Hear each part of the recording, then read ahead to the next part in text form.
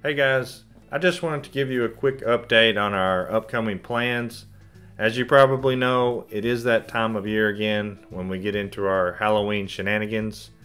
And if you're not into that, uh, I understand. And let this be a fair warning. This would be a good time to take a break. Uh, meet us back here in November for the wrap up videos.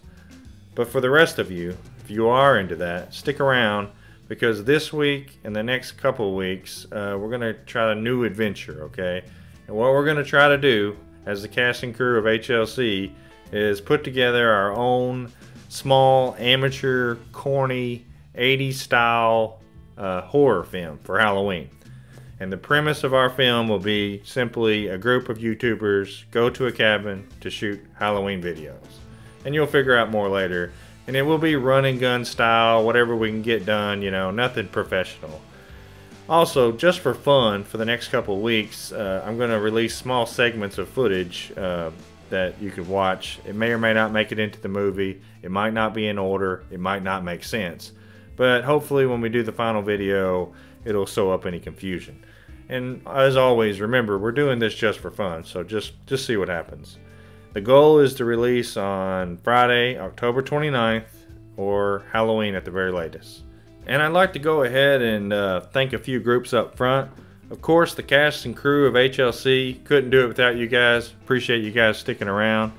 Second, our friends at Nolin Lake. We really needed a new place to record this uh, fall, and you guys provided it. I appreciate that. And we're kind of curious how the lake treats us. Third, I have a business called Olight Flashlights. They're going to send me a free flashlight. It's a light that I've used in the past that I highly recommend.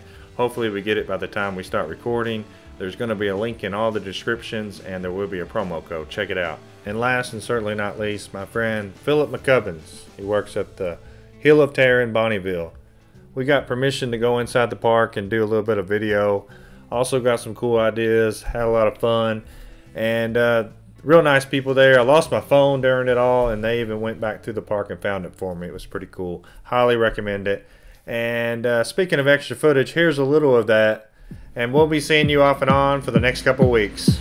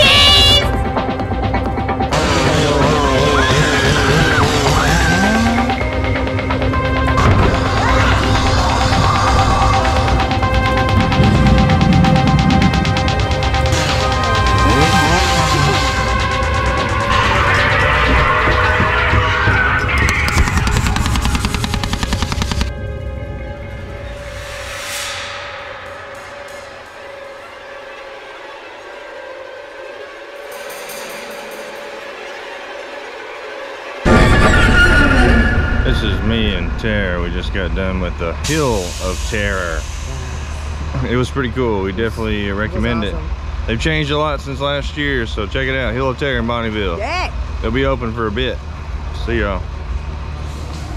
What about the rest of you? Y'all ever been here before? I think they were. No. Oh. You've never been here? No. All right. I want to take your picture. That's all I'm going to do. Well, camera just went to hell. I'll take a picture with her. All right. One, I need a big smile from you. Big smile. It's gonna be a little quiet. You get your picture bottle here. Ah, f you! How loud? I said, let's go. Son of a What did you say? No, have a good night. Thank you for coming. Thank you. I'm sorry, Tara.